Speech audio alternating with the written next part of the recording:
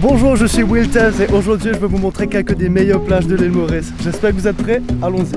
Nous allons commencer ce voyage par la plage de Montchoisy située au nord-ouest de l'île Maurice.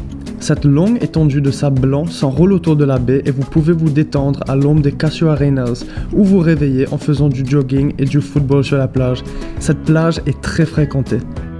Ensuite, nous allons à la plage de Saint-Félix dans le sud de l'île Maurice. Cette plage est un peu en secret caché et absolument magnifique. C'est l'endroit idéal pour une sortie en famille, car ce joyau vous offre une immense plage de sable blanc sous les cocotiers et beaucoup d'espace pour des activités telles que le beach volley et la natation. La plage du jardin Telfer se trouve à Souillac, dans le sud de l'île Maurice. Elle possède l'un des plus beaux chemins d'accès à la plage. Suivez le chemin rempli de végétation tropicale qui vous mènera au bord de l'eau pour un pique-nique romantique. Située sur la côte de l'île Maurice, la plage de Belmar est la meilleure plage pour une promenade au lever du soleil. Son long chemin s'étend sur des centaines de mètres.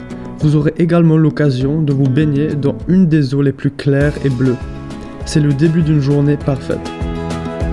La montagne du Marne est un lieu emblématique de l'île Maurice. La plage du Marne est l'endroit idéal pour se détendre après une randonnée. Du sable blanc de l'eau claire, des cocotiers à perte de vue et les couleurs du coucher du soleil. Il n'y a pas meilleure façon de terminer une journée chez l'île. J'espère que vous avez aimé cette vidéo et je vais vous laisser venir ici et décider pour vous-même laquelle de ces plages vous avez préférée. A bientôt à l'île Maurice. Bye